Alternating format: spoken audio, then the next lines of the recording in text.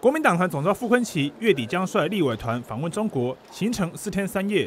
原先号称至少二十人，但连续问了好几位立委，都说地方有行程，不方便参加。我个人事实上，嗯啊，因为大家现在已经都知道，本来是要四月十八号去嘛，本来是行程上比较可以。我事实上是很想去的哈，但是因为我的行程，我现在还在看，因为我的我有一个地方的这个妈祖的绕境行程啊。我们还是有分内外，所以书记长爱构处哦，我这边要顾我们的这个党团。委员你会去吗？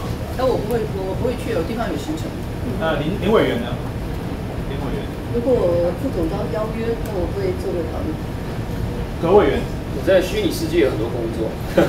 区域立委说要顾选区，不分区也不捧场。除了赖世宝公开表达不妥，不少人也私底下说缺席院会会造成社会观感不佳。现在确定要跟的，只剩下不分区的汪小玲。选区在竹苗的林思明、郑正前、邱正军，还有原住民立委黄仁，人数仅剩个位数。非常常会有没有带团去中国的这个事情呢？谢谢大家。是这样事情吗？就会期中出去会不会不太好？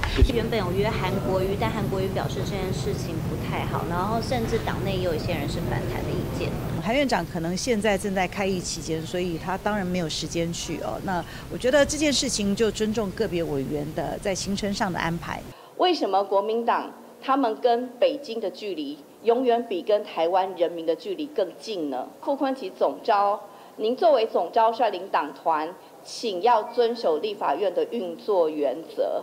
立法院的议程一定会往前走，不会等人，不会等特定政党争相到中国去抢当中共的代理人。国民党党团跟国民党党中央先讲好。到底谁代表谁？访中议题，蓝营内部难得出现杂音，绿营冷眼以待，就看他们去能交出怎么样的成绩，说服社会大众。